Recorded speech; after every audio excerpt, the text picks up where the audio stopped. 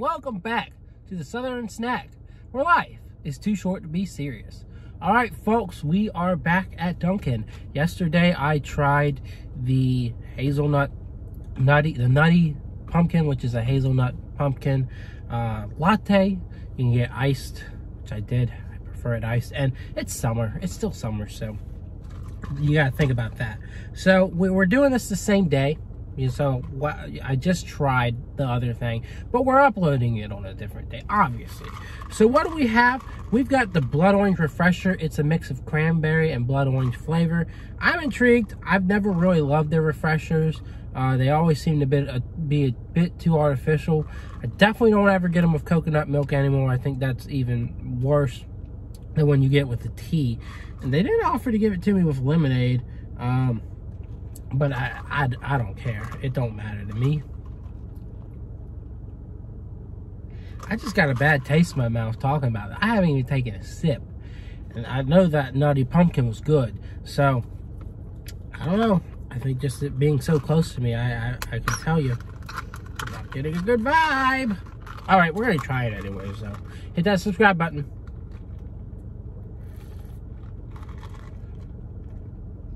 That's not half bad.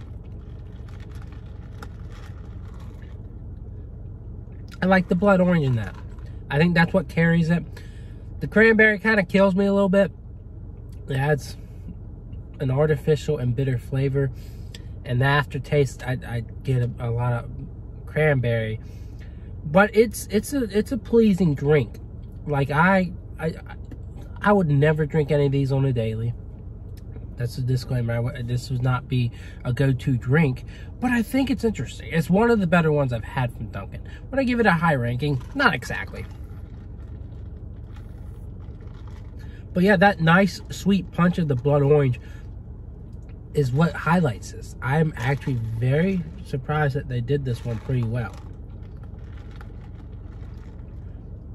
Yeah, I like that. Not a big fan of the cranberry. I will say that. I just, I don't like artificial cranberry stuff. But, you know, I'm willing to sell. It's not the worst artificial cranberry flavor. It's not too far off from cranberry juice. Hmm. Yeah, I would give that like a seven and a half. It's not going to linger in my mind. Wow, wow, you know, that that's so good or that's so great. But it's enjoyable. Like it's laid back. It's not overly artificial. The blood orange does a good job. So I don't know. I, I think they did a pretty good job on this one. So I don't know. Prop to Dunkin'. Good blood orange flavor. Not too much cranberry. Um, but I really just would prefer this if it was straight up blood orange. If it was, I would probably be even more intrigued to say, hey, this is like an, uh, you know, eight and a half or a nine. It's not, it's not going to reach that level of perfection, I don't think. But I, I think it's a, it's a fair drink. So that, that gets a seven and a half for me. Um, some good new items on the fall menu for Dunkin'. Plus, she has a lot of good returning items. So I'm sure you know what most of the other things taste like. You've seen reviews, you've been.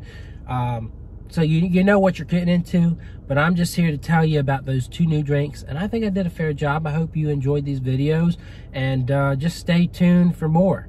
Uh, I know with Starbucks, they're not doing anything new, particularly they're they're revamping the Apple Crisp Macchiato, so I'll be reviewing that um, and kind of comparing it to what we had last year. But other than that, that's my review. I'm sticking to it, and I will see y'all around.